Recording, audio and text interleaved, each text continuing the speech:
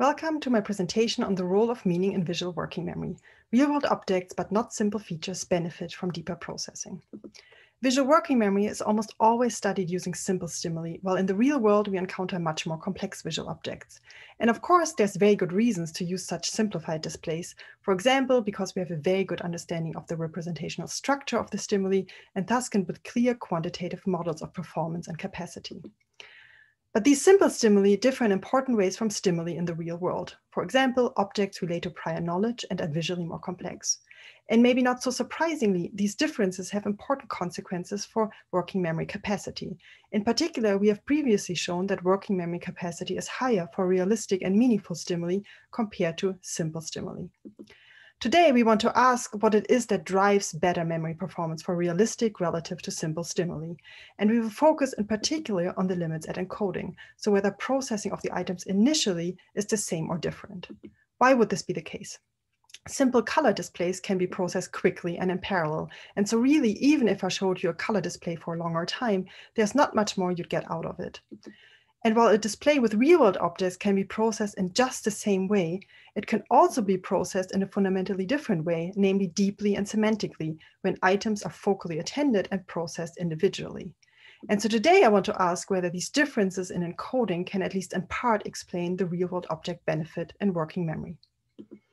To test this, we will use a standard visual working memory paradigm in which we ask participants to remember a set of items and after a short delay, cue them to a location and ask them which color they saw at that location using a two alternative forced choice. So this looks something like this. We contrast these color displays with displays that use real world objects.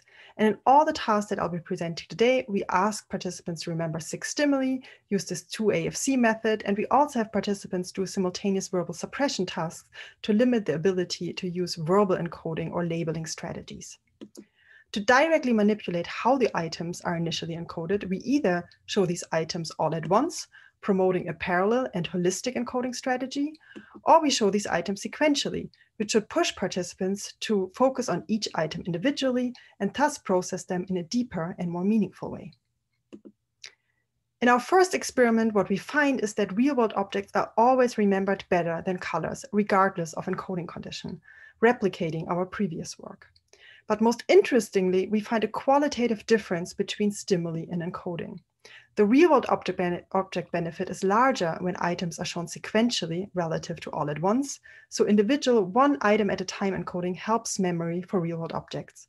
For colors, we find the opposite. Working memory performance is better when colors are presented simultaneously relative to sequentially, consistent with the idea that low-level features are processed efficiently in parallel. In a second experiment, we replicate these results across subjects, demonstrating that these effects are robust and also not driven by order effects.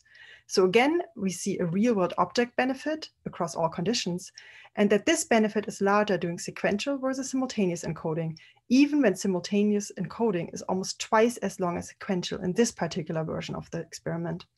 Colors again show the opposite, benefiting mostly from simultaneous encoding. And so what this suggests is that um, sequential encoding allows participants to extract semantics and meaningfulness from the objects, which then drives the benefit in working memory performance. An alternative explanation might be that the difference in visual complexity actually underlies these effects. The idea being that there are more features told onto for real-world objects relative to these simple unidimensional colored circles. And while this idea is largely at odds with previous work showing worse memory for more complex items, we wanted to test this directly with regards to encoding limits. And so in the third experiment, we compared memory performance for realistic object and scrambled versions of these objects, which maintained the physical complexity of the objects, but were unrecognizable and thus meaningless to the observer.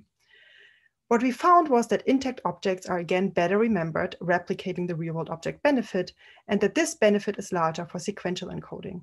The scrambled objects look like colors. Overall performance is lower and memory is better for simultaneous than sequential encoding. So this suggests that individual sequential processing only benefits meaningful stimuli, but not complex, meaningless stimuli. So in sum, encoding limits appear to work in fundamentally different ways for realistic objects relative to simple stimuli. Simple features uniquely benefit from parallel encoding, while realistic objects benefit from the deep processing afforded by sequential presentation. Overall, these experiments suggest that results from simple features at high set sizes should not be generalized to real-world objects. Rather, it seems that standard visual working memory tasks, so many quickly flashed objects at encoding, are uniquely suited to simple features. And while we can encode real-world objects just as colored blobs, so the same way, we can also process meaningful objects more deeply and can improve memory for them. Most broadly, our results indicate that visual working memory does not appear fixed capacity. Adding meaningful dimensions, but not simple complexity alone, recruits more working memory capacity. The results that I presented today are in press, so you can read more about this in this paper here on the left. And I also want to point you to another preprint in which we show how important it is to match the FOIL difficulty in working memory tasks when comparing across different stimulus classes. Thanks for stopping by, and thanks for your attention.